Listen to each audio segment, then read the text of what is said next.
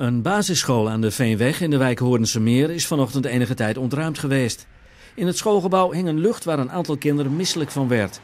Brandweerlieden zijn het gebouw met speciale meetapparatuur ingegaan. De oorzaak van de vreemde lucht bleek een ventilator te zijn die was vastgelopen. De lessen werden twee uur later na een grondige ventilatie hervat. Er hebben zich zeker 100 partijen gemeld die Doortje wel een nieuw tehuis willen geven. Doortje is een vinvis die begin vorige eeuw aanspoelde aan de Nederlandse kust en aan de universiteit werd geschonken. Het skelet ligt nu in de kelder van het biologisch centrum, maar moet daar weg omdat het gebouw verkocht is.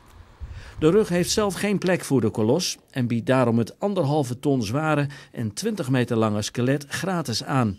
Van de vele geïnteresseerden zijn er drie echt serieus te noemen. Treinverkeer tussen Groningen en Leer is na drie dagen weer hervat. Om de doorvaart van een cruiseschip van de Meijerwerf mogelijk te maken, werd een spoorbrug over de Eems verwijderd. Nadat het schip was gepasseerd, is de brug weer teruggeplaatst en kon de trein weer doorrijden naar het Duitse Leer. De schaapskudde, die elk jaar wordt ingezet om de bermen en grasvelden in de stad kort te houden, komt dit jaar lopend naar de stad. Voorgaande jaren legden de beesten de route nog per vrachtwagen af. De groep van een kleine 400 schapen begint 28 maart aan de tocht vanaf het Drentse Bargerveen. De bedoeling is dat ze de 70 kilometer lange tocht in 10 dagen afleggen.